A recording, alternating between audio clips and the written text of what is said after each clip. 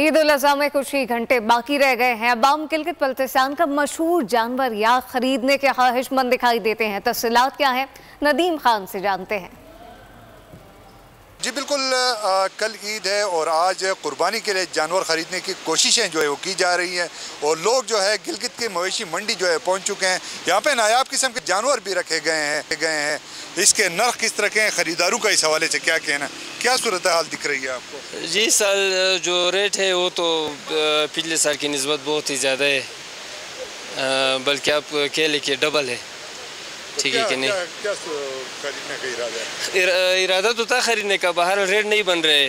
क्योंकि हम जिस जो जैन बना के आए वहाँ इस हिसाब से यहाँ डबल रेट बता रहे।